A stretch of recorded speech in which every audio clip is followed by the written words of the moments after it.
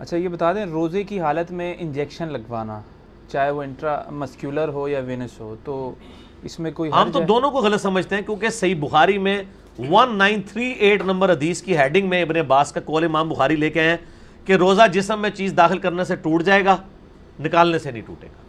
اب وہ داخل کر رہے ہیں آپ چاہے ادھر کر رہے ہیں ادھر کر رہے ہیں علماء کا اختلاف ہے مجھے پتہ ہے۔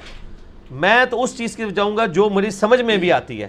غلام سو سعیدی صاحب پہلے قائل تھے انجیکشن سے روزہ نہ ٹوٹنے کے۔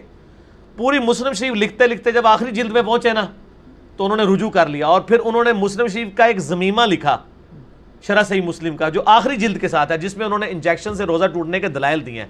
اور یقین کریں وہ صحیح سائنٹسٹ والے دلائل ہیں۔ انہوں نے کہا، اللہ کے بندو، آپ کہتے ہو کہ مسکولر کریں تو نہیں ٹوٹتا اور وین میں کریں تو ٹوٹ جاتا ہے۔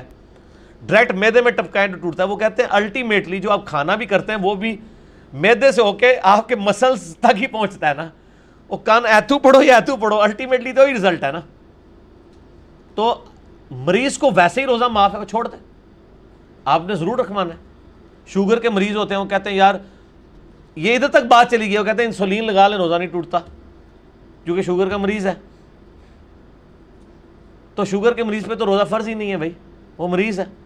اور اگر وہ بعد میں شوگر تو اس کی ٹھیک نہیں ہونی ہے، وہ نہیں رکھ سکتا تو فدیہ دے دے لیکن آپ شریعت کو ٹیلر میڈ تو نہ کریں۔ اس طرح کئی سانس کے مریض ہیں۔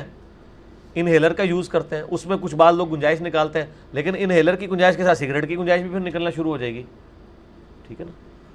نہیں اگر تقوی کے حیثیت سے سوچ کے انسان رکھ لے تو تقوی ہاں پھر تقوی کے ساتھ پھر یہ ہے کہ وہ ساتھ ہر روزے کا ایک فدیہ بھی دیتا رہے۔ اچھا کہ اگر وہ روزہ کاؤنٹ نہ ہوا تو فدیہ تو پیچھے آپ کی بنیاد پہ کھڑا ہوگا۔ تو کرے ٹھیک ہے۔ انسولین بھی لگائے سارا کچھ کرے روزہ رکھتا رہے اپنی تسلی بھی کرتا رہے فدیہ بھی دیتا رہے۔